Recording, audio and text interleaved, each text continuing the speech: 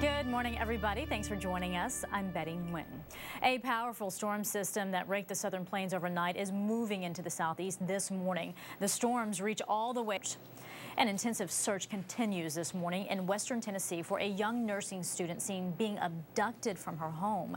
20-year-old Holly on the CBS Money Watch, stocks in Asia were mostly down today. Ashley Morrison is here in New York. Straight ahead, your Friday morning weather and in sports, a show of force at Dodgers.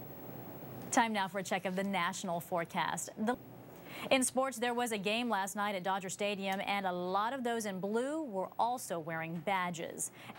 And golfer Kevin Na has set a PGA record, but not in a good way. And here's another look at this morning's top stories.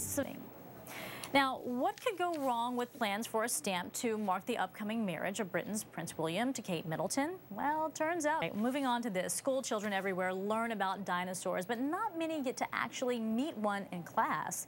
Kids at a school in Australia did, well, sort of. Jacqueline Maddock of Australia's 10 News was there. As we reported, Congress tackles next year's budget today, and that will require raising the nation's debt ceiling, the cap on how much the government is allowed to borrow. Coming up a little bit later on the early show, the latest. Yep, time is running out for that. And for us, that's the CBS Morning News for this Friday. Thanks for watching, everyone. I'm Betty Nguyen. Have a great day.